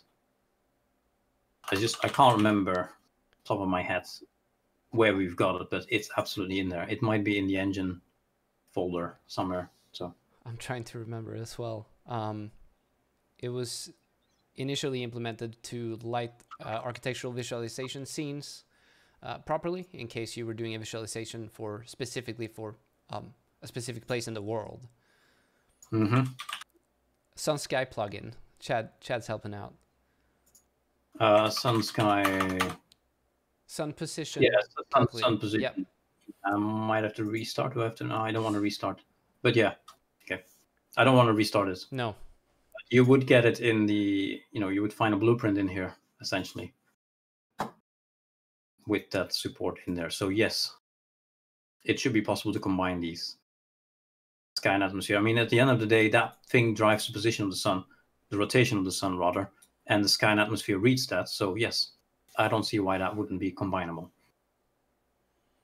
That's super cool. Yep. Are you uh, ready to tackle some of the questions that we had coming in? Go for it. All right. I think the first thing we should discuss and uh, maybe clarify is that this project was not designed for gameplay purposes, right? Mm-hmm. No, it wasn't. No. it's to uh, demonstrate and showcase some of the features of of the new plugin, and then also some other tips and tricks, of course, because there were a lot of questions coming in so related to, uh, you know, can we can we play around the planet? Is it possible for us to have like play on the moon, for example? Um, could you discuss a little bit about the uh, limitations around that and and why that is the case?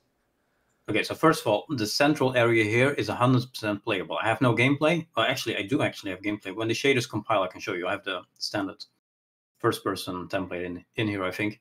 Um, but the gameplay would have to be restricted to near zero zero zero for world position, um, you know, uh, reasons, uh, float precision reasons. Um, when you go further away, that becomes your main problem. It's no longer precise, and that prevents you from going to the moon. You can fly the camera to the moon, but you wouldn't be able to do anything on the surface of the moon. I, I doubt you would be able to walk there you know, you would probably get, re- you would have no idea what would happen, if it would even work. You fall through collision, everything is flickering. I have no idea, but it's way too far off. So, no, you can't do that. For the same reason, the planet is purely a, visi- a visual effect. It's a sphere, but it's not truly a sphere. The collision is still flat, it's not bending the collision. It doesn't actually have collision in the first place. Let's assume I would have made collision. Collision would have been here as one giant flat plane. Um, plus, again, you would get world position errors anyway by doing that. Um, so yeah, gameplay over here, yes. Uh, gameplay in the sense that if you want to have transition to space purely for a cinematic or something, yes. Um, landing on the planet on a different place, no. Going to the moon, no. Having a space station in here where you can walk around, no. That's, I think, the conclusion. At least I haven't tried those, but I, I doubt they would. You would be able to pull that off.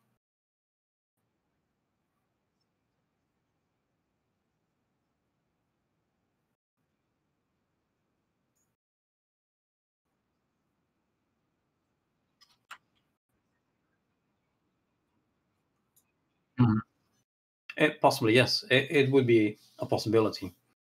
I mean, there's probably other hacks you can do as well. As you travel to the moon, you no longer see the, the planet behind you, right? And then somehow do something at that point to shift your position or so, yeah. Because the stars will always be in the exact same position, which is the benefit because it's post-process material, so they can never off be offset. They're in the exact same position. So you can probably do some tricks, yeah. But as is, no, it's more a visual effect.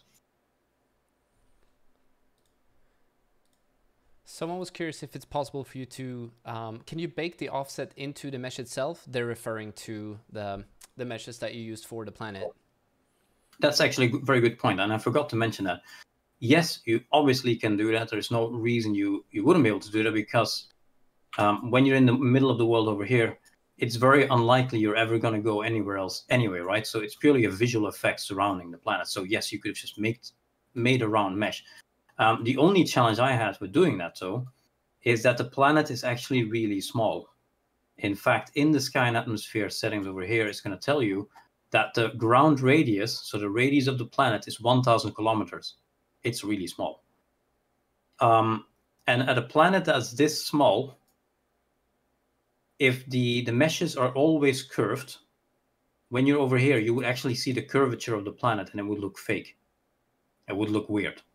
So because to fight back on that, I had to have the, the surrounding geometry flat. So when you're in here with the camera on the surface, it actually does look like a very large planet.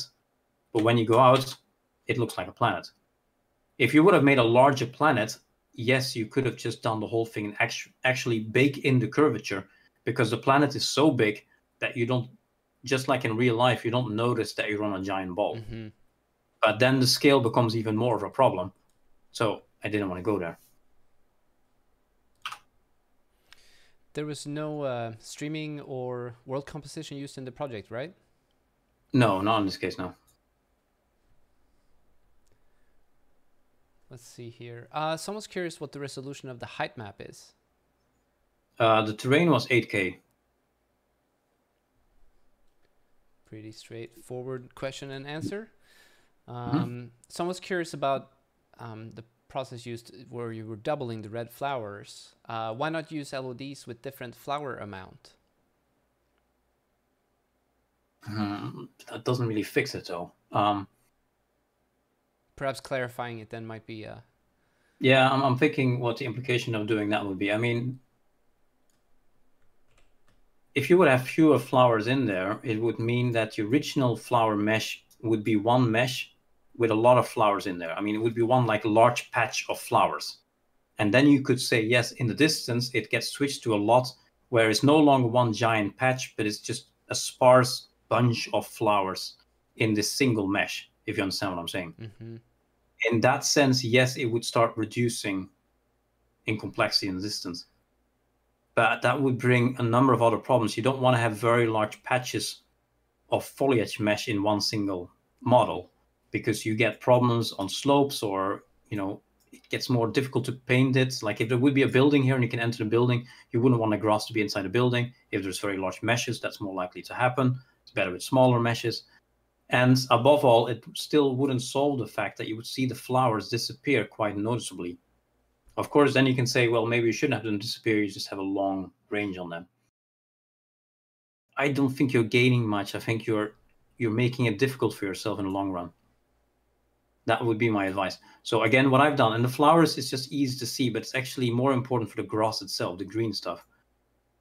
Um, because it, it allows you to have a very dense up close area and still have a long viewing distance here where it appears the grass just goes on endlessly. But the grass over here is only 5% of the density as it is over there. It allows for that in a nice and simple way without the problems of having very large meshes per foliage instance. I would say. It's pretty cool. Um, someone's curious if you could turn on the shader complexity view for the scene. I have not done this because it wasn't um, um, it wasn't meant as uh, you know performance wasn't the main thing. It does run well, but we'll see. It's gonna compile because I haven't done this yet.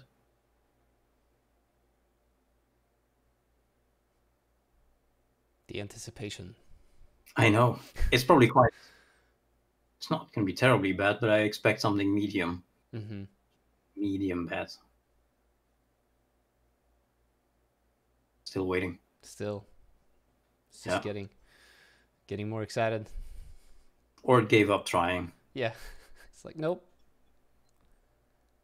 Um, and as mentioned, this is not the normal build, so it might be that it's even broken in this particular build. I'm not sure. While we're waiting, we can ask, we can tackle some more questions.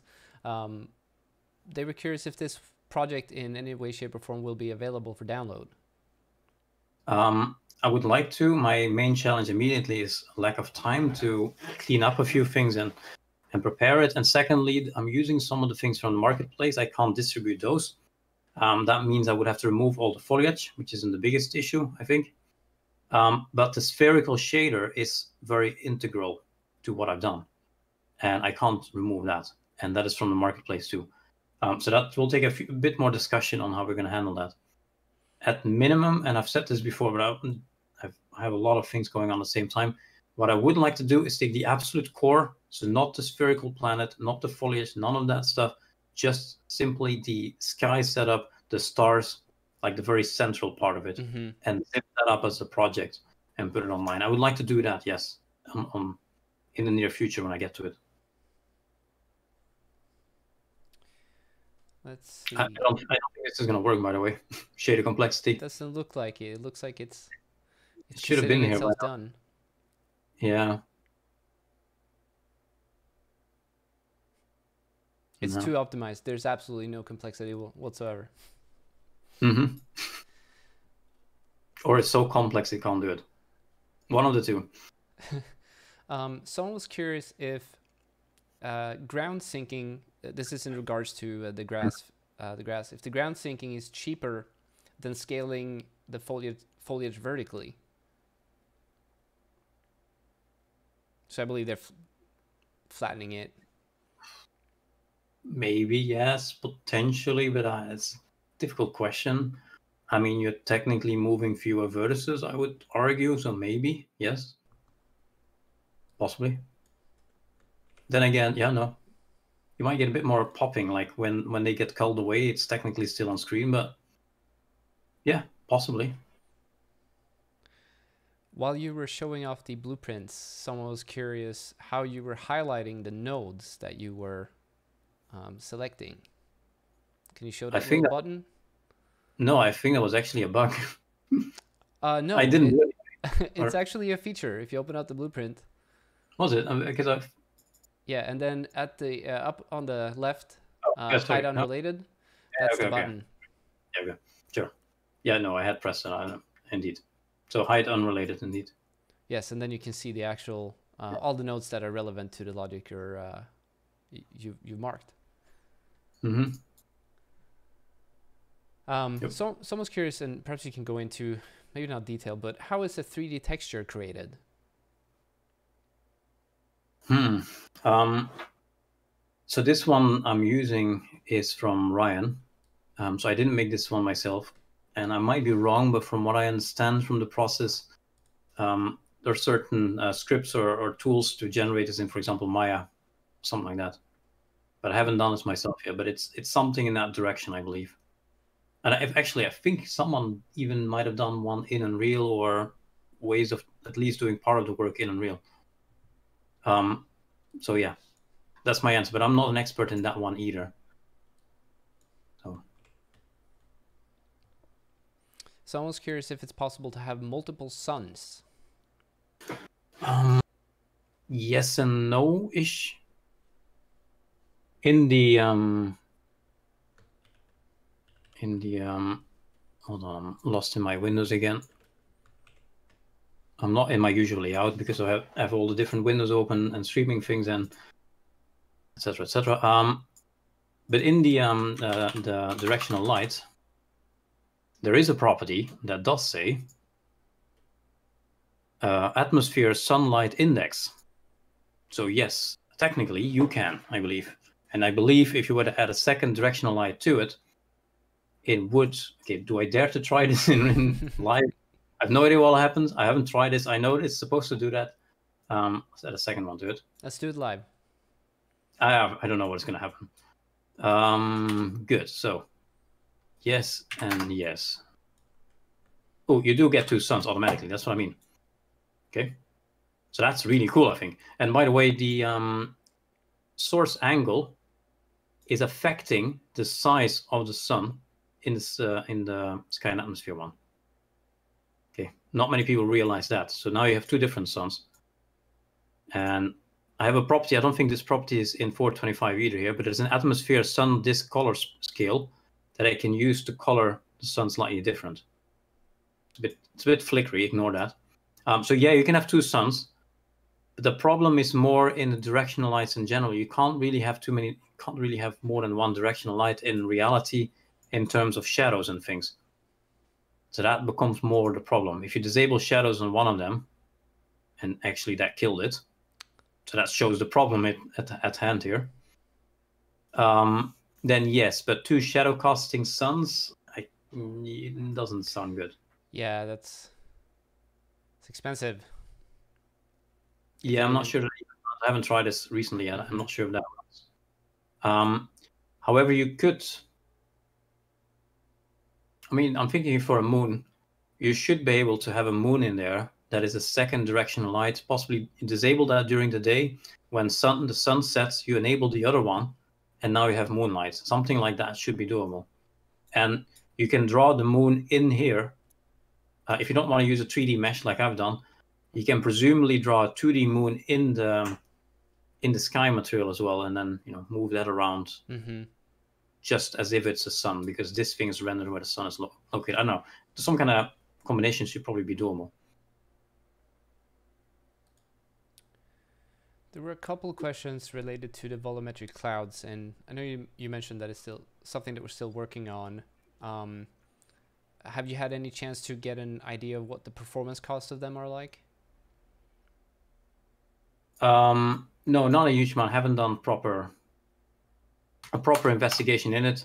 Um, I did notice it runs well for me. I mean, I haven't noticed any immediate problems unless I make the the layer height very intense. I'm not noticing any immediate issues. I am using high high end settings, and I'm running this with at this point two editors open and World Creator and Discord.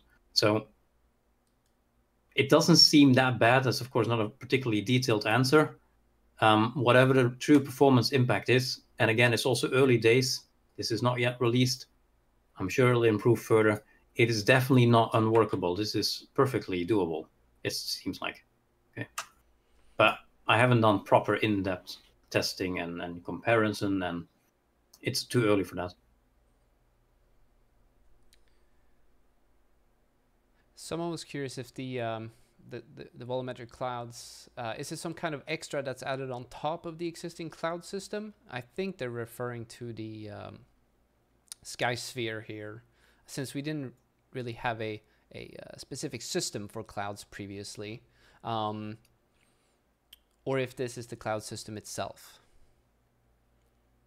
Um, I'm trying to interpret that. I mean, the cloud system we had before was indeed just a mesh. It was part of the Sky Dome. Right. Or you want a translucent mesh in front of the Sky Dome, but same kind of thing. Uh, and that's what I had here in the other one. I have to go and open it up again because it's crashed. Um, you could combine the two, I guess. Right now, there's some issues with that, but again, it's work in progress. Um, right now, there's some translucency sorting between the, the the 2D flat clouds, the mesh itself, and the volumetric clouds, but it's still work in progress. So I'm not sure if that answers the question. So I think he gave us some more details. Um, he's talking about the current volume system.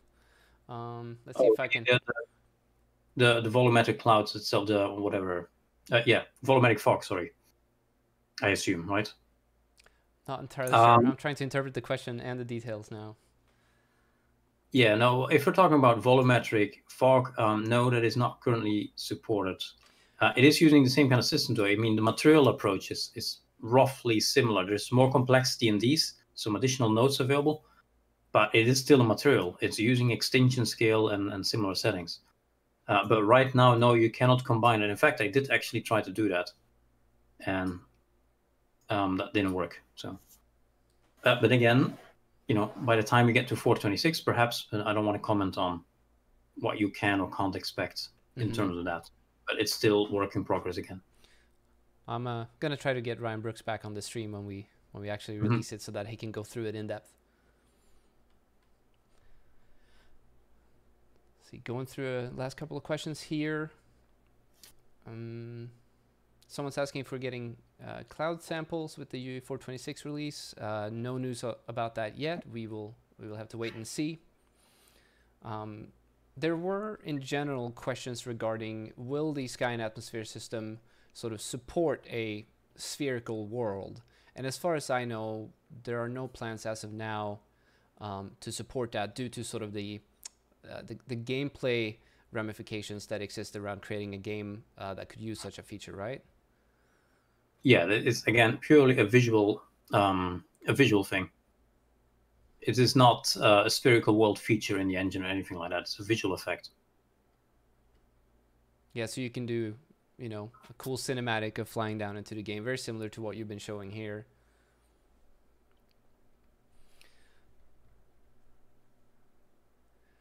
How? I might, yeah, I might be lagging my. Uh, it's loading the level, so. Still sounds all right. Um, okay. Chat wanted me to tell you that uh, you're breathtaking, and that the project is absolutely amazing. There was a lot of um, O's and A's. Okay. Cool. Well, Thank that, you. that's that's some some feedback for you. Um, as yep. I'm saying that as I'm trying to go through the rest of the questions. I, I hope I haven't been rambling on in in random words and descriptions and things. I don't know. No, I think I think it's all been very clear. Clearly, if you haven't tackled a project like this in the past, it might seem overwhelming, right? I mean, you're going through all kinds of material tricks as well as using brand new features in engine and um, you know, actually figuring out how to combine them and to create something like this. So um, totally understand if, if folk think that it seems overwhelming and very different, difficult to do, but um, you can also, you know, maybe uh, point out how long of an experience you have with Unreal Engine uh, and game development in general.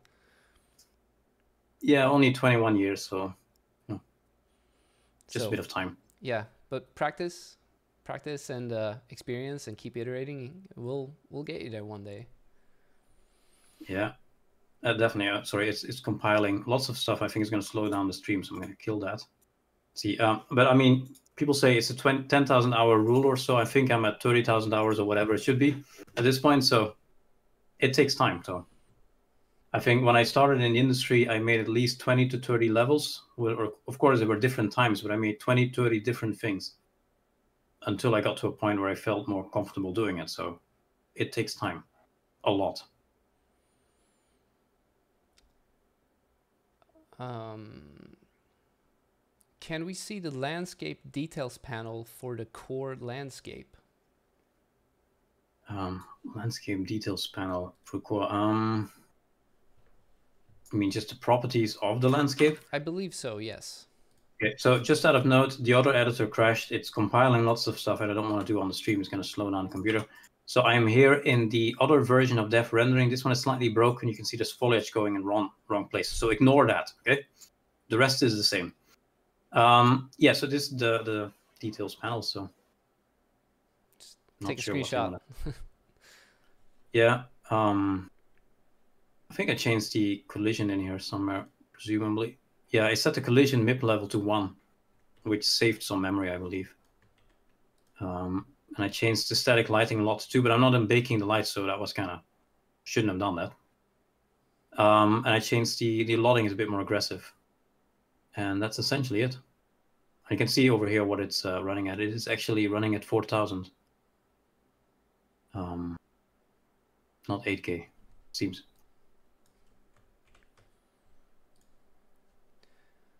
Someone's curious asking, is there a way to downscale the textures in editor in case you run into a video memory barrier? Yes, since um, when did we do it? I think Unreal Engine 1 even started doing that with the current system. Uh, every texture has uh, MIP maps generated for it automatically, provided the resolution is a power of 2, which all of these Quixel textures are. So if you take this random texture over here, it will have MIPS. Um, and it will have uh, it's hidden in one of these set settings. Um, maximum texture size. If it's zero, if you make this four, for example, you can see, at least it should. And again, all of these builds I'm using are non-normal builds, okay? So it will have crashed. But the MIP level in there, you can basically just set it to one, and it will only load the next MIP level, which is one fourth of the size of the original one. And that's the same that a game does it. If you're in any game and you set the texture detail to medium or something, it does the same thing. It just takes the next MIP and it doesn't load the highest resolution MIP. And if you set the entire game and projects to uh, only use MIP, uh, MIP number one for everything, and you package the project, the engine won't even include the original ones. So it doesn't even take up disk space. It's just completely stripped out. That's how we, for example, um, allow for the engine to build to a mobile platform. You can say on, on PC, I have 8K textures. When it's going to deploy to mobile, we want to force all textures to be on MIP2. That should then be, what is it, 2K, I think. So maybe MIP3, so it's 1K maximum. And so that's how that's handled. And that reduces the uh, build size quite um, and also allows you to sort of have the 8K textures in the project and always have them accessible, be able to work with them, but not package it out for something like mobile, where that would um, that would make your game rather large. Yeah, it makes it scalable, so you can have PC all the way to low-end mobile. If if you know the whole transition should be possible. Yes. We did have a couple folks. I, I think that I think they joined late. I was curious, where are the ants? Oh well, I mean, both of my editors at this point have crashed. So um, I can't show you the end anymore. We can. It's an anti. If you go back to the VOD, and for there were a couple of questions about that. Uh, all of all of the live streams that we do uh, on the Unreal Engine channel, we upload them to our YouTube channel afterwards. And so, in about give or take a couple of hours, once the video is done processing, uh, you'll be able to watch the VOD in eternity, as long as YouTube exists, I guess. Um, there, there's a rock at the bottom of the valley where there's an ant on a rock. It's right it's there. an ant from from Billy from the Quixel team, um, with its wings doing this with a very simple vertex animation I did. That's it. So, with that, I think we are about the two, to hit the two-hour mark. Um, so I'd like to thank Sjoerd for taking his time out of his day and also making this amazing project. Um, it's quite breathtaking, just like you apparently. No, I guess. um, that said, next week we will actually be kicking off the uh, 2020 Unreal Spring Jam, and we'll have Michael Noland on the stream, uh, showing off a little bit of uh, game jam tips and tricks. Uh, not entirely sure what he has in store for us just yet, but it's going to be exciting. And then at the uh, 3 p.m. mark, we will announce the theme for the game jam. Um, that said, I think I, am I'm, I'm gonna need a, a, another glass of water because my my bottle is out. And uh, Sjoerd, thanks again for coming on. Thank you. Yeah, it's great. Um, perhaps. I hope we can have you on before the end of the year is over. I hope so. I want to do another one of these kind of things. I mean, these kind of demo projects. So I have some ideas. I got another little ping here. I was just trying to look at. Uh, yeah, and we're we're excited to see what you're working on, and it's quite normal for. Uh, I mean, most most of the evangelists are working on little projects, tips and tricks. Um, where where can the um, can our viewers go to see that if they're curious about what you guys are working on? Um, are kind of different places a little bit. Um, primarily, all of our Twitter accounts are probably the best reference at the moment. And we've got um, a page, Unreal Indies, on UnrealEngine.com that has all of our profiles up there, the Twitter accounts next to them. And uh, that's currently the best place, I think, yeah. So. Yeah. Um, I've also seen some of you posting it on the um, on the forums as well. Yes. Yes, absolutely. So links and breakdowns. So that's where you can go to see what they're working on. Um, in normal times, they would also be able to see you all um, around the world, uh, whether they're European or American or Asian conferences, um, which is also part of your job what you do. But unfortunately, at this time, we are only able to try to spend time with you all virtually. Um, but I'm happy we're at least able to do that. Cool. With that said, time to go. Uh, thanks everyone for watching today. I hope you enjoyed and learned a lot. Um, if you would like to know more or have any further questions or would just like to discuss the features uh, that are part of Sky and Atmosphere, feel free to use the uh, announcement thread for the stream. Uh, it's a good place to sort of um, gather around and discuss specifically what was said and, and, showcased in the stream. So with that said, I will see you all next week. Bye Sjoerd and bye everyone out there. I hope you have a great rest of your week.